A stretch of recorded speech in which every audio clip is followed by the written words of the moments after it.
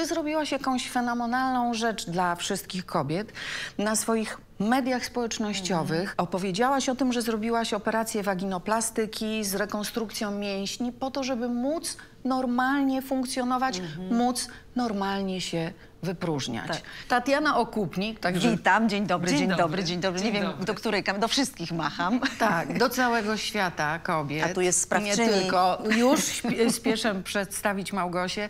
Doktor Małgorzata Uchman-Musielak, położniczka, ginekolożka. Śmiało możemy powiedzieć ta, która uratowała Tak. ci niejako życie. Tak Brawo. Dziękuję. Tak. Pierwsze filmiki nagrałam w 20 roku. Matyśka się rodziła w 2016. Cztery powiedz, lata bo- zajęło mi, żeby w ogóle zacząć się składać.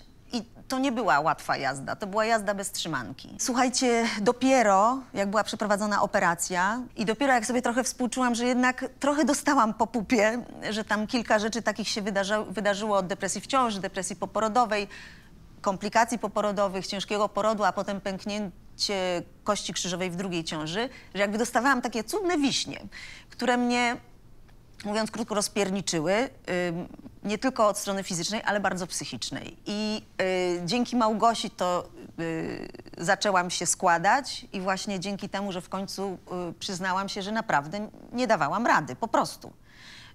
Przy czymś tak cudownym. Ale macierzyństwo pokazuje i piękne oblicze, i takie hardkorowe. I że to jest znój. Tak, ale to jest też normalne, dlatego że sam poród, no to umówmy się, to jest przepychanie lalki przez dziurkę od klucza, prawda? Dokładnie. No natura to tak wymyśliła. Oczywiście są inne rozwiązania, ale one wcale nie są zdrowsze, więc to też jakby się umówmy. Główny problem polega na tym, że e, nie ma takiej opieki poporodowej. Tak naprawdę kobieta rodzi, wychodzi do domu i ma kontrolę u lekarza prowadzącego 4-6 tygodni po, czyli ten okres połogowy. I to wszystko. Ale niestety nie wiem, czy zdajecie sobie sprawę, że tak naprawdę co czwarta pacjentka na świecie doznaje urazu e, okołoporodowego. I to jest bardzo e, taka straszna statystyka, Straszna prawda? statystyka. Małgosia, ale żeby zrozumieć cały dramat, który się wydarzył w życiu Tatiany, no opowiedzmy twoją historię, bo zaczęło się od pierwszego porodu. Tak. Rodziłaś 33 godziny. I 5 godzin parłam.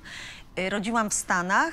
Y, Nikt w którymś momencie nie wywiesił czerwonej y, flagi i nie powiedział, y, Panie Mariolu, y, przerywamy i na przykład cesarka.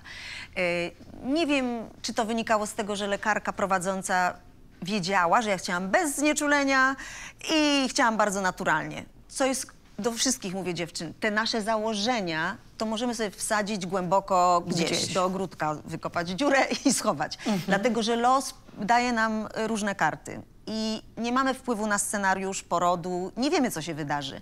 Kobieta, która jest super przygotowana, wysportowana, e, ja mm, może nie byłam super wysportowana, ale w każdym razie przygotowana, wiecie, e, mentalnie, czekałam na ten Szkoła czas. mówię, metafizy- była pewnie. Nie, szkoły Tak, rodzenia to nie chciałam, Ale ale, wiecie... nie daje gwarancji, Nie daje, właśnie o to chodzi, że da, spokojne oddechy i tak dalej, playlista, żeby się wyciszyć, a tu, przepraszam, no dupa.